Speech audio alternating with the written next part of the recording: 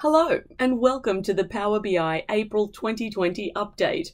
In this video, we'll explore what's new this month and see some demos of the highlights. But before we explore this month's release, we have an important update for you on the modern filter pane experience. Originally, we were going to automatically migrate all reports both in the Power BI desktop and Power BI service to the modern filter pane experience in April. However, in light of the challenges COVID 19 presents to your work environment, we've decided to postpone this automatic migration to May 2020. Hopefully, this extra time gives you more flexibility to tweak or customize any of your formatting before your reports are upgraded. And now, on to this month's release. We have several new features for you in the reporting section. First, we have the new Personalize Visuals preview feature. Now you can explore and personalize visuals all while viewing a report without having to familiarize yourself with the full editing experience of Power BI Desktop. Sujatha will show us a demo of this new feature. As a report author, sometimes it's difficult to build a single report that can meet all of the needs of your end users. Sometimes you'll see that users want to see a different type of visual, they want to swap out what's on the axis or see a different measure. Uh, in order to allow them to do so, previously you'd have to either give them edit permissions or they just download the report and create a new version of it, which, you know, sooner rather than later, that report becomes out of date with the original copy.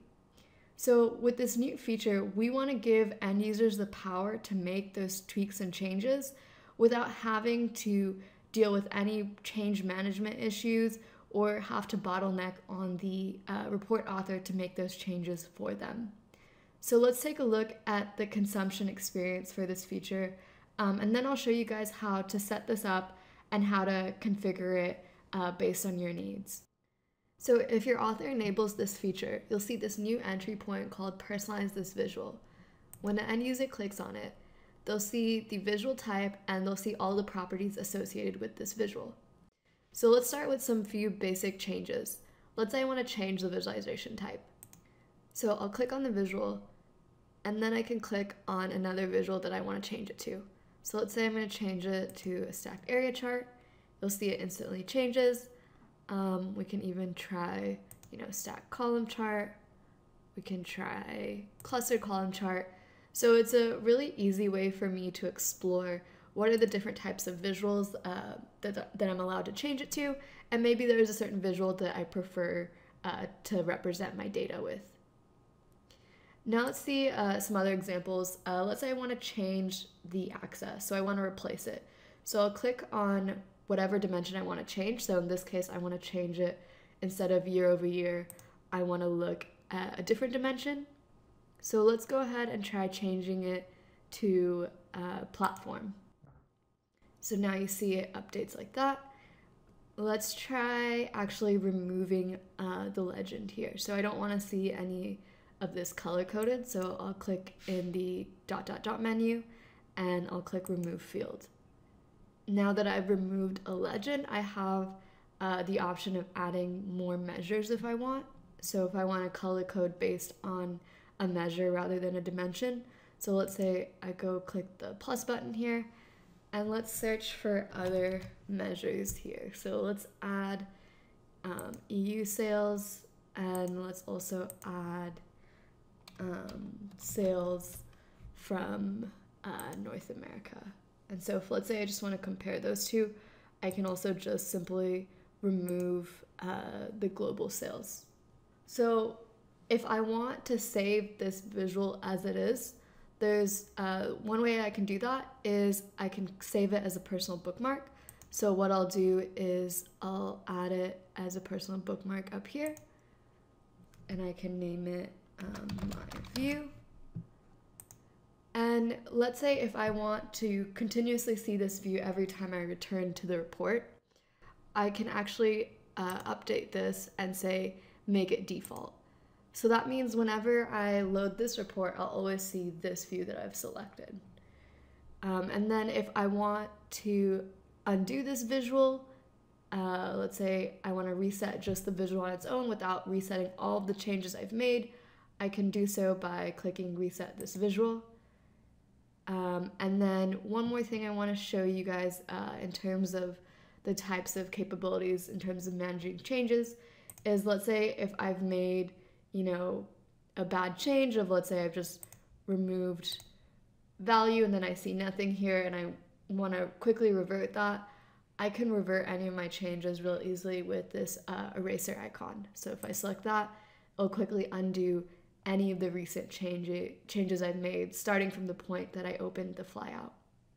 So now let me show the creator experience and how you can set this up for your reports, um, as well as how you can configure it further. So before you can enable this for your report, you'll need to turn it on in the preview features section.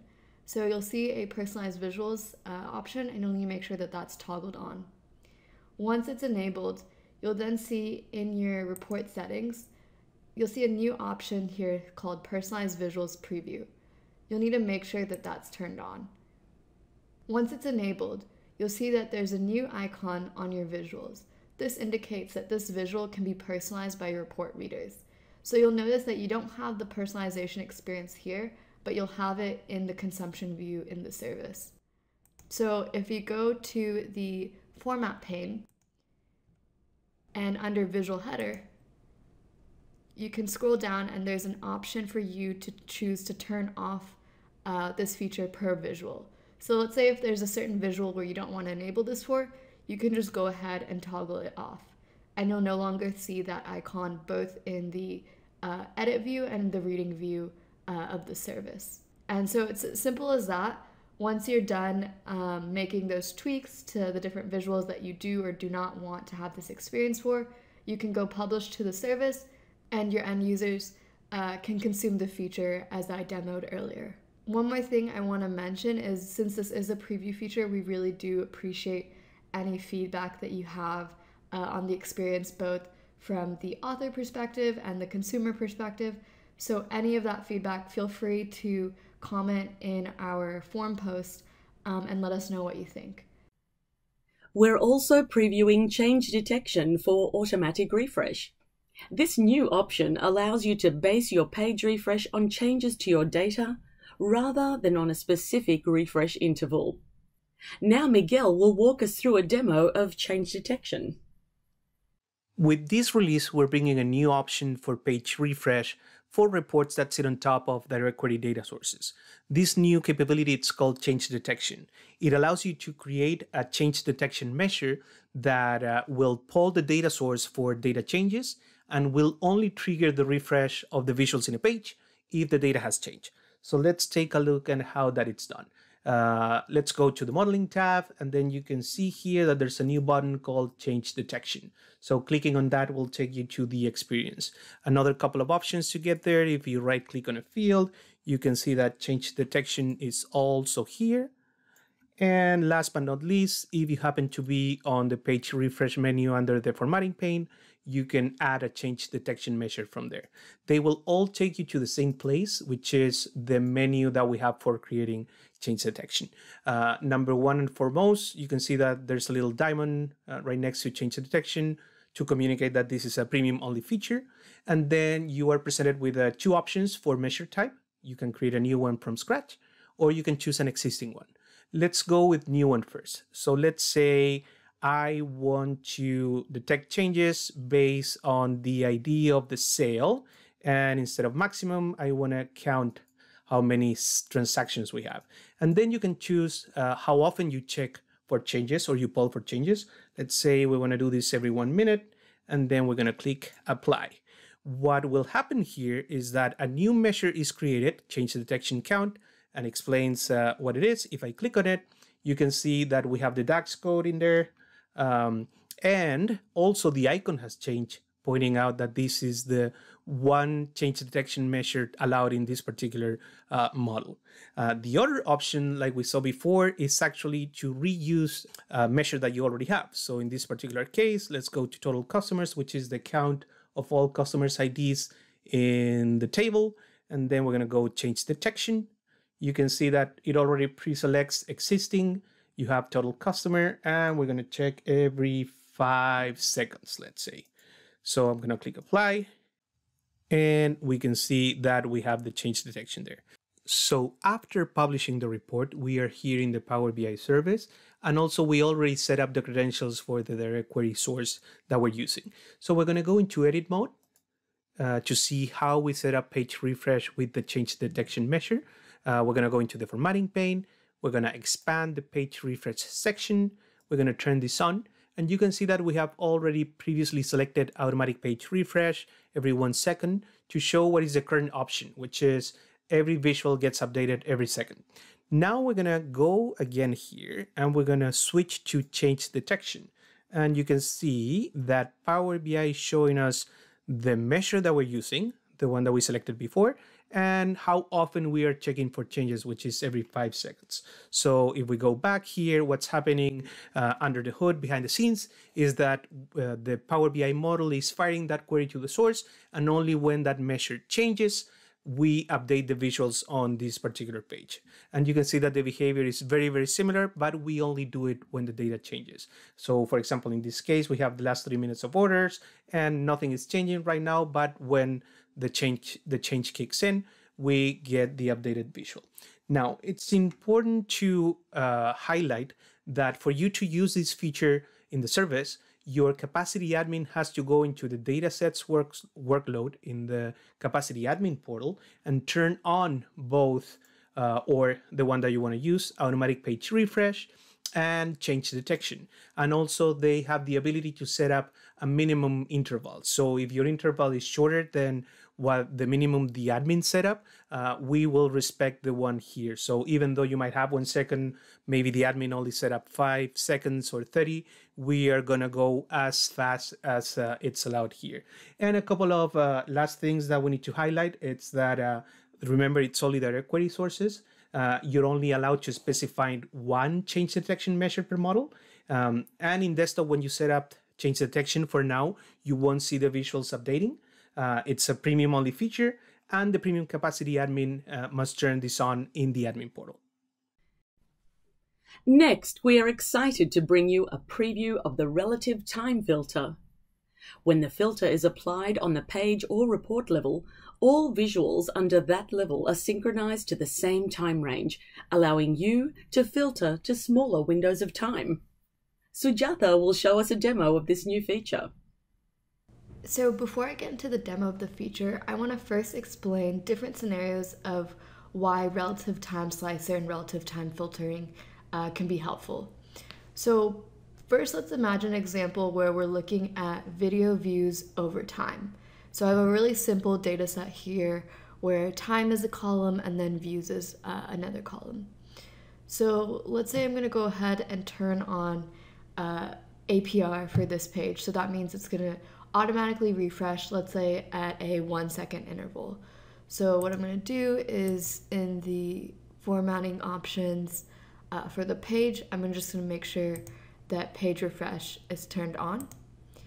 Um, and then I'm going to set the duration to one second. So you'll notice here that this is a relative date filter. And the smallest time window I can put here is last one day. Uh, and you'll see that you know, yes, this uh, card right here is updating, but it almost looks like the visual itself, uh, this line chart here, is not updating. And the reason being is because even though my data is very volatile, so it's changing very rapidly, my time window is not small enough for you to really see those changes uh, in the visual itself. So with that being said, this is a great example of why you would want relative time filter in this scenario. So let's flip over to a different page. So I'm gonna turn this off and let's flip over to this page here. So this is the exact same page, except the only thing I've done is I've changed the time slicer from relative date to relative time and I said last one minute. So now let's go ahead and turn on page refresh uh, for this page. So you can see the difference is quite dramatic. You actually see uh, the line chart at the bottom um, reflecting a more narrow time window, and you're seeing that change happen uh, in more uh, real time. So now the way that I set this up, so uh, it's very similar with relative date. So you just drag in uh, your date or time field uh, into the field well, and you're using a slicer here. And then in the option setting, uh, you'll see over here is you just need to go ahead and select relative time. So once that's selected, you'll see here that you have the options of choosing uh, last, next, or this period. And then when you specify either last or next, uh, you can then specify uh, a specific quantity, and this needs to be a whole number. So you can say last one minute, last five minutes, uh, etc. And then you'll need to specify a unit of time, so whether that be hours or minutes. You'll also notice this handy feature that shows you the exact time window um, that all the visuals uh, on this page are being filtered to. Um, so one important thing to note here is that if you're using um, a non-UTC time, you'll need to convert that before you can use it for this feature.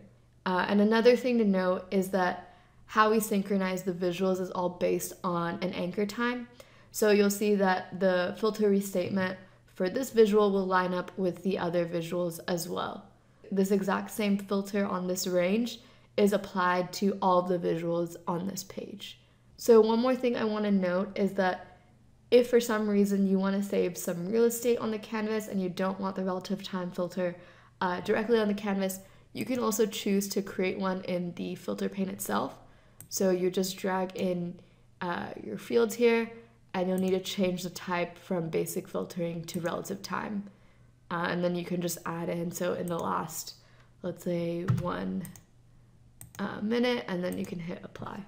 So that's one way that you can filter it based on the filter pane rather than an on-canvas slicer. Next, we are introducing Rectangular Lasso Select across visuals. This new feature allows report authors to select visuals by clicking and dragging over the canvas to create a selection box, making it easier to select multiple visuals at a time. Rien will show us a demo for this feature. Rectangle Select for Visuals is a simple but useful feature that allows you to select visuals with a simple click and drag. It's great for selecting many visuals at a time, allowing you to move them however you want while you edit your report. And, because this functions the same way as clicking on them one by one, you can still add or remove visuals from your selection by holding down on the control key and clicking the visual, or still holding the control key using the rectangle select again.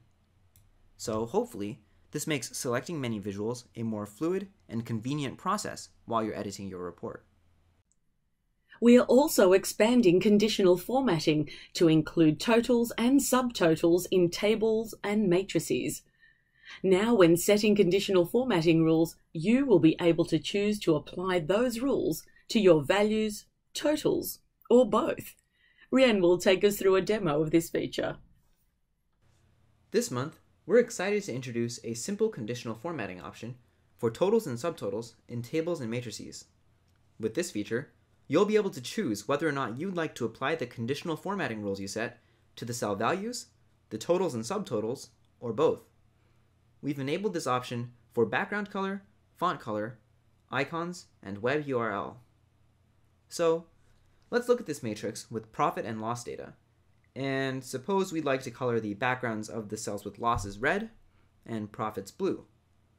To do this, we can go into the conditional formatting pane and turn on the background color toggle. This applies a default. Since we're doing our own rule, let's go into advanced controls. So the new dialog, the new option, is the apply to option. Here we're not using the color scale since we're doing a binary if positive and if negative. So over here, let's say that if it's greater than some arbitrarily small negative number and less than zero, which makes it negative, we'll say it's red. And then if it's greater than zero, but less than some arbitrarily large number, then it's blue. But we should apply this to more than just values. Let's apply this to the whole table, values and totals. And now we see that all of the backgrounds are in a garish blue or red based on whether or not they're positive or negative. Uh, supposing we wanted to apply this only to totals and not to every single cell, let's go back into advanced controls, change this from values and totals to just totals, and click OK. And now we can see that our profit totals are blue and our loss totals are red. And that's that. So keep in mind that you'll have to manually set the thresholds or ranges of your conditional formatting rules, and that applies not only to the rules, you know, but also to color scale. And also keep in mind that for matrices, the word values still refers to the lowest visible level of the matrix hierarchy, and this mirrors its previous functionality. This feature is something that many of you have been asking for, and we understand that the capabilities that we added today won't cover all of your use cases. We've got a lot more planned for this feature, but we do hope that our current solution addresses some of your more basic needs. But please keep sending us feedback on this feature so that we can deliver more versatile functionality in the future. Next, the custom theme dialog is now generally available. We appreciate all of the feedback you've provided us throughout the preview process, and we hope the dialogue will help you more conveniently create better looking reports. Tessa will walk us through all of the updates to the feature. You may have noticed the last couple of months that our new theme dialog has been in preview, and this month it's being GA'd. So you can see the new theme gallery shows up in our ribbon here. And if I hover over some of the different options, you can see the name of the new themes show up in the tooltips. And if I click on this dropdown, then you'll see this nice dropdown that shows up with two different sections of the different kinds of themes that show up in my report. Um, we have this section called this report that shows you what your report currently shows and Power BI, which shows the themes that come out of the box in Power BI. If you go to the option at the bottom of this dropdown called Customize Current Theme and you open it up, this shows our new theme dialog that is GA. So in this dialog, you can rename um, or you can redefine the names and colors uh, and how they'll appear. You can modify the text, um, your visuals and the colors that show up there, and even the backgrounds of these visuals, and do the same for pages and their filter pane. And there are also some advanced options for some of them, and we have some really great documentation you can follow to learn more about each of these elements. If I want to create a new custom theme or modify this theme, I can go to each color, and you'll see there are a couple different color pickers here. Um, you can go through the um, color spectrum as well, and you can input your hex code if you have a specific color you want to use, or you can even input RGB values as well. So I'm just pick, gonna pick a couple of different colors um, so you can see how my report might be changed. And if I choose a few different ones,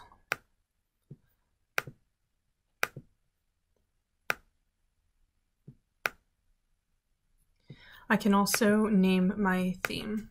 So I might name this my company branding.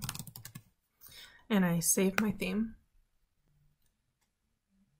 you can see that my report has updated to reflect the colors that I chose for my theme. The theme gallery also takes in information from the canvas to form these icons. So the theme that I'm currently using is always going to show up as the leftmost icon in the theme gallery. And if I hover over it, you see this tooltip shows up that tells me that it's my current theme and the name of that custom theme that I uh, defined is in parentheses. So here I named it my company branding. And if I open up the drop down again, you can see that a new section has shown up. We have a custom section that shows up with your theme that you just created. You can also switch back and forth between that theme and the other Power BI themes that we have. And the drop down won't lose that custom theme that you just made. You can also export your custom theme as a JSON file. In order to do that, you just go to the option at the bottom that says Save Current Theme. When you export it as a JSON file, you have all the options available to you as before that um, allow you for more fine-tuned and granularity for modifying your theme. And lastly, for the reporting section, we're introducing a change to the way you access conditional formatting in the formatting pane, making the entry point easier for you to find. Now you can conditionally format your visuals using the function button next to the input you would like to format. Let's move on to the analytics section. we're excited to announce direct query support for two of our AI visuals, the decomposition tree and the key influencers preview features. Here's Justina to give us a quick look into this update. The key influencers visual as well as the decomposition tree now both work in direct query scenarios. In this first example, I have built the key influencers visual against some imported data. But as you can see in my data model, I have some data that I am connecting to in a direct query manner. And so these visualizations now work in composite models. In the second example, I actually have the decomposition tree built directly on top of my direct query source. Next, the decomposition tree visual also now supports tooltips, allowing you to customize what users see when they hover over data bars in the tree. Justina will show us a demo of this new addition. The decomposition tree allows you to take any measure and break it down by multiple different dimensions in any order that you want. With the new release, you can now add tooltips to your decomposition tree.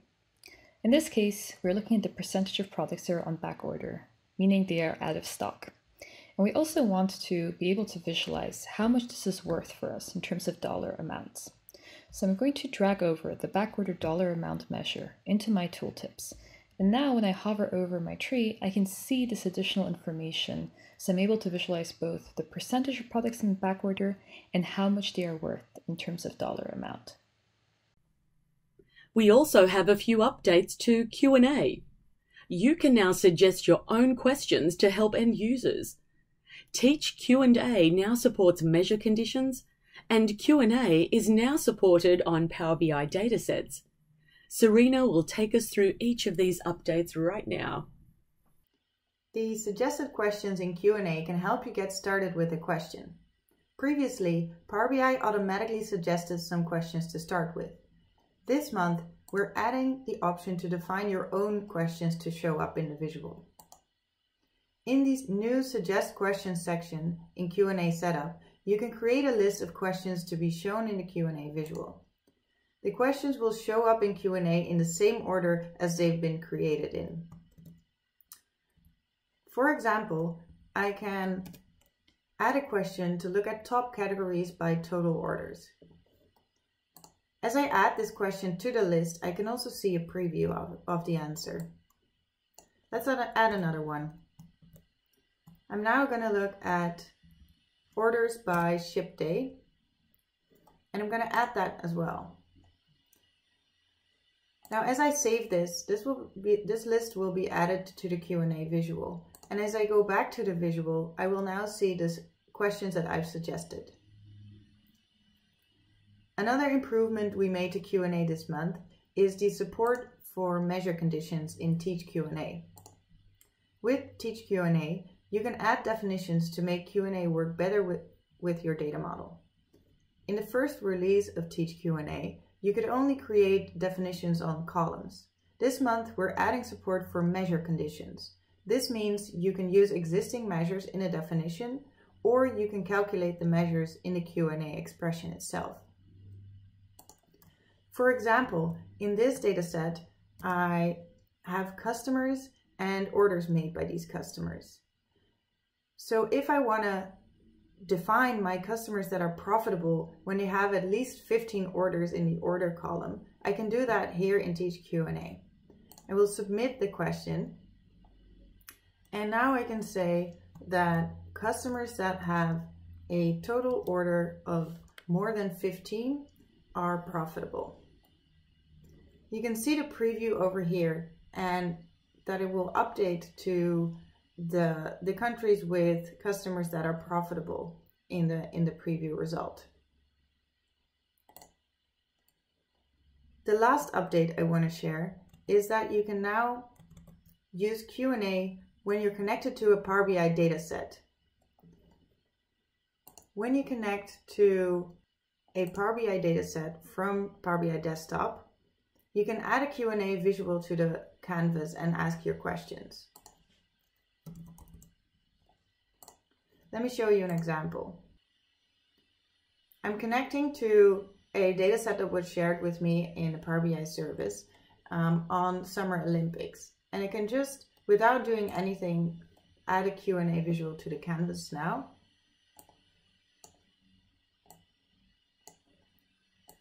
And start asking my questions.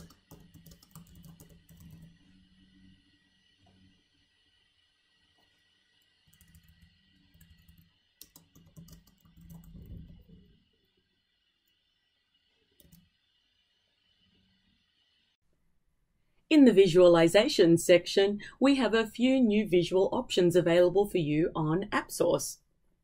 First, we have the Radar Polar Chart by XViz. This chart is ideal for visualizing multivariate data, highlighting outliers and commonality by comparing one or more categories across different variables. It delivers several highly requested features around axis scaling, data label customization, and legend support. Next is Comicgen by Gramener, a visual which adds comic characters to your reports whose emotions, pose, and angle can be controlled by data. You can use these to represent up to two KPIs at a time, visualizing each as an emotion or pose on one of two different characters. Next is the Pareto chart by sio2Graphs. This chart allows you to visualize cause and frequency to understand the key drivers of a process. And next up, we have the growth rate combo chart by Djeeni. This is a line and column combo chart displaying percentage differences between selected column categories. This chart is ideal to display growth rates in time series, an important metric in finance and other fields. And lastly, in this section, we have the Smart Filter Pro Visual by OKViz. This is the premium version of their Smart Filter, which provides a compact slicer that applies filters in different ways, including autocomplete and incremental search in a drop-down list. Links to more information about all of these visuals, as well as links to download them from AppSource, can be found in the video description below. You may also notice that our visualization icons have a new look. These new icons have a higher color contrast to improve accessibility and are better aligned with the icons you may already be familiar with in Excel. You'll find them both in the Visualizations pane and in the new Personalized Visuals experience. We also have several new additions to our Power BI templates on AppSource. Template apps allow you to save time by connecting your own data to a pre-built report that you can personalize and share. This month's template apps include the Power Platform Center of Excellence Start Kit, which provides a holistic view of the resource usage in your tenant, Azure Cognitive Search, which is a cloud search service with built-in AI enrichment, and a variety of COVID-19 apps which help track cases over time by location. If you're interested in trying out any of these template apps, please check out their links in the video description. Next, in the data preparation section, we're excited to bring you some enhancements to the Query Diagnostics feature, which we made generally available last month. This month, we're adding a Query Diagnostics Options page in the Options dialog, allowing you to configure your diagnostics output and performance in Query Diagnostics. Here's Colin to show us a demo of these improvements. In April Power BI Desktop, we've added two new capabilities to Query Diagnostics. The first of these is a Diagnostics Options button on the Tools tab, which will take you to the Diagnostics page in the Options. This page will allow you to select your diagnostic outputs, including the level, as well as new additional diagnostics, the first of which we're adding is performance counters. Performance counters is the other new feature we're adding to Query Diagnostics this month. With performance counters, you can come and you can see information about the actual resource utilization of your query. Here, you can see that we have ID, timestamp, information on processor usage, which if it's greater than 100 just implies usage of multiple cores, total processor time, IO data bytes per second, commit, and working set. You can easily get this information just by running a diagnose step or start diagnostics on a given query. However, there is a caveat. If you run it on a query that runs very rapidly, you may not get the information that you want. Here, I'm running it on a SQL query that is pushing down most of the operation to the backend data source. You can see that we get a result, no performance counters were captured during this session. This is because it pulls this information and it only does so ever so often, which means for very fast queries, you're not going to get anything useful out of it. This is aimed for heavier workloads that you really want to understand what kind of resources it's utilizing. On the data connectivity side, we are happy to announce that we're bringing into beta the CDM folder view for the Azure Data Lake Storage Gen 2 connector. This will allow you to select if you'd like to view content in your data lake as CDM entities. You can learn more about this in the video description. Lastly, we would like to announce the availability of new instructor-led training. This month, considering global health concerns due to COVID-19, we've changed the Dashboard in a Day program to accommodate online delivery. These events will be scheduled on Microsoft Teams instead of in-person classrooms. Additionally, we're bringing you brand new paginated report in a day instructor-led training as an addition to the online course that starts on April 1st. To learn more about either of these trainings, check out the links in the video description below. And that's all for this month. We hope you enjoy the updates and please keep sending us feedback on what you'd like to see in upcoming releases. Thanks for watching, stay home, stay safe, be well, and we will see you next month.